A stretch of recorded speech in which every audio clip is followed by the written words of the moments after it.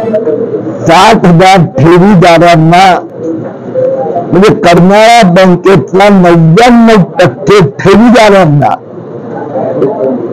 बहुतेकांना त्यांचे सगळे पैसे किंवा अनेकांना सत्तर ऐंशी टक्के पेक्षा जास्त पैसे मिळवून देणारे प्रशांत ठाकूर आणि महेश बालदीचं कौतुक करतो.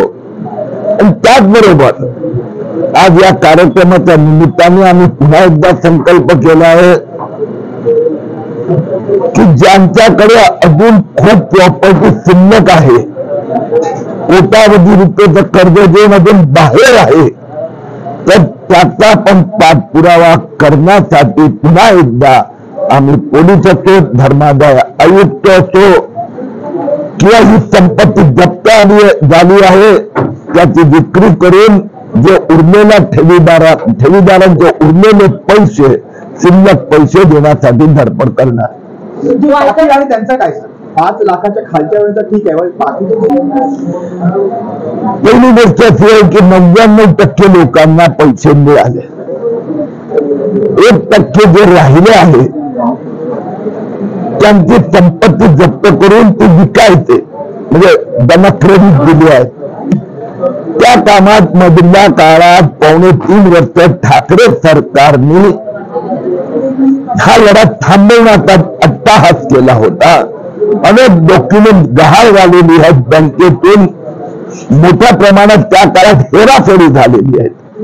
तर म्हणून पुन्हा एकदा प्रशांत आणि महेश सोबत आणि त्याचा पुढचा लढ्यातला पुढचा टप्पा याला गती देण्याचा प्रयत्न करणार यात आता एक्शनची गरज आहे. ऍक्शन म्हणजे जे संपत्ती होते तर त्यात सरकारने एक स्पेशल अधिकारी नियुक्त करावा लागणार.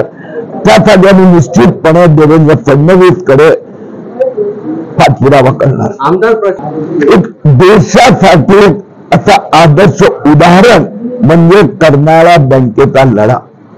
या निमित्ताने केंद्र सरकारने कायद्यात पण बदल केल्याने एक लाखाच्या ऐवजी पाच लाख केले. तर मी तर खरं म्हणजे या भागातल्या नागरिकांना सांगणार की या दोघांचं सन्मान केलं पाहिजे.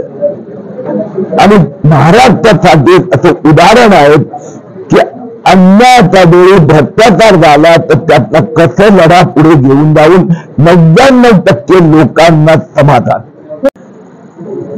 काही गोष्टी अशा आहेत की आपल्याला आवडत नसतात. पटत नाही.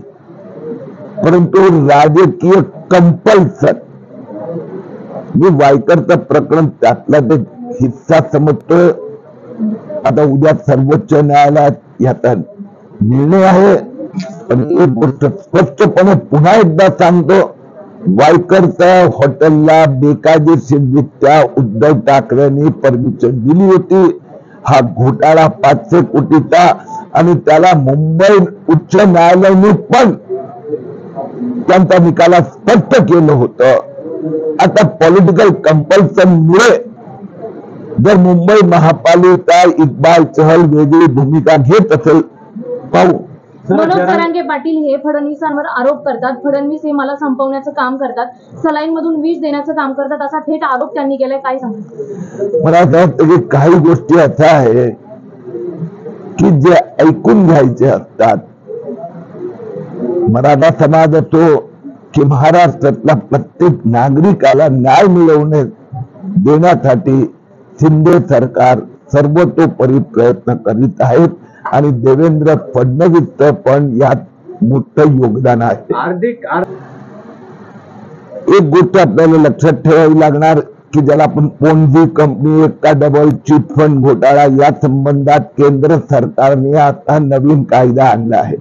पण त्याचबरोबर गुंतवणूक करणाऱ्यांनी पण लक्षात ठेवावं लागणार की प्रलोभनात असा संस्थांपासून लांब राहिलं पाहिजे. आत्ताचे वेगळे आता नवीन घोटाळा होऊ देत नाही ना.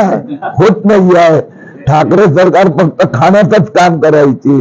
म्हणून अंतिम लक्ष घोटाळे शोधणं आणि काढणं नसते लक्ष असतं भ्रष्टाचार कमी होणं आणि त्या दृष्टीने मोदी सरकार मोदी साहेब स्वतः ही जी कारवाई होत आहे तर मला त्यांना पनवेलचं उदाहरण घ्या ना. विवेक पाटीलला दोन वर्षहून अधिक तीन वर्ष झाले होते जेलमध्ये आहे. तर आता दुसरा कोणी सहकारी बँकेचा घोटाळा करताना दहा वेळा विचार करणार. म्हणून मोदी साहेबांनी ईडी असो सीबीआय असतो की इन्कम टॅक्स येतो याच्या द्वारा घोटाळाबाजांना सबक शिकवण्याचं काम करतात. ज्याच्यामुळे पुढे भ्रष्टाचार कमी व्हावा. दहा वर्षात दहा वर्षात केंद्र सरकारचा एक पण मंत्री वर घोटाळ्याचा आरोप नाही झाला.